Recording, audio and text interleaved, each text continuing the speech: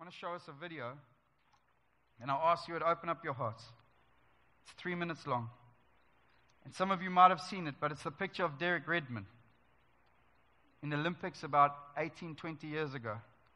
He'd run the Olympics the year before he'd, got, he'd had an injury, he, and he was primed for his final Olympics. He was in the prime of his life, he'd won every race. And even if you've seen this, I trust God is going to minister to your heart. But he, he was in the prime. He was in the fifth lane. He'd won. He was up the lead. He was expected to win the 400 meters. And then something happens. He tears his hamstring, and a man bolts. And I'm telling the story intentionally so you have the context. A man runs. He pushes past the security guard. It's not just a man, it's his father. And why this story? Because some of you here, and myself included, have torn hamstrings.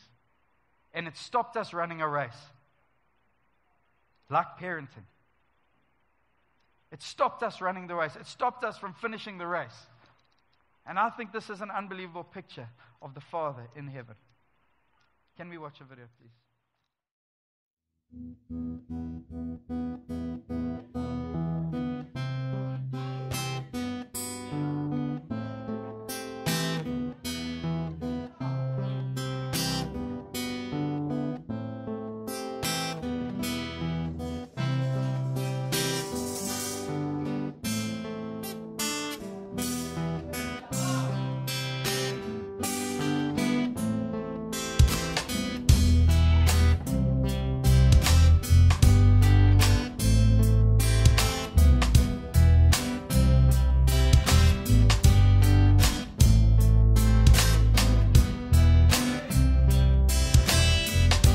Dedication.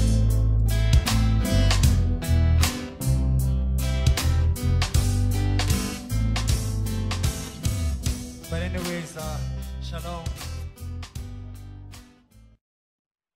Can we close our eyes, please?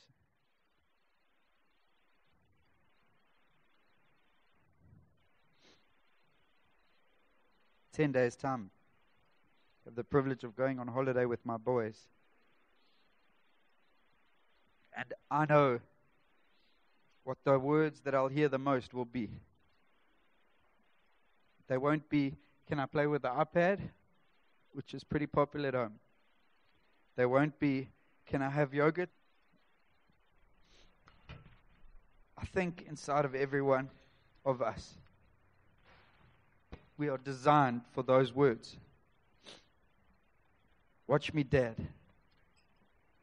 And the problem is, there's a whole bunch of filters in the way that stop us realizing that there is a Father whose eyes never stop watching.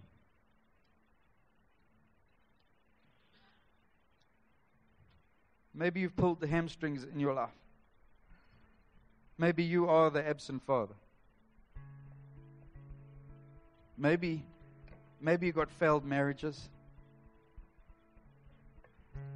Maybe your brothers and your sisters were so successful and you just never were that guy. Or maybe you've had it perfect. But you can't figure this thing out that God is living. This is what Psalm 121 says. I lift my eyes to the mountains. Where does my help come from?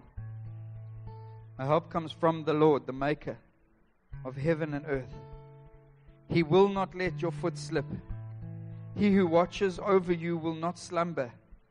Indeed, he watches over you, Israel, will never slumber nor sleep. The Lord watches over you, the Lord, the Father, is your shade at your right hand. The sun will not harm you by day, nor the moon by night. The Father will keep you from all harm. He will watch over your life. The Father will watch over your coming and going, both now and forevermore.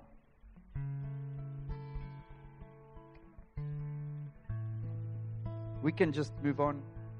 This could just be another Sunday.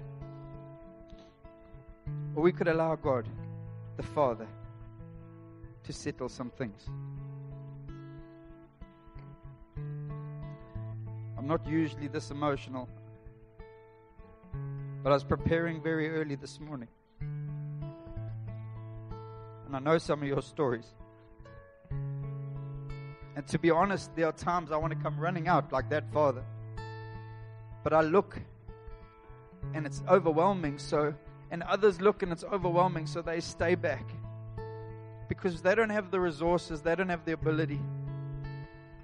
But I want to tell you about the Father who will knit no obstacle, no distraction, nothing.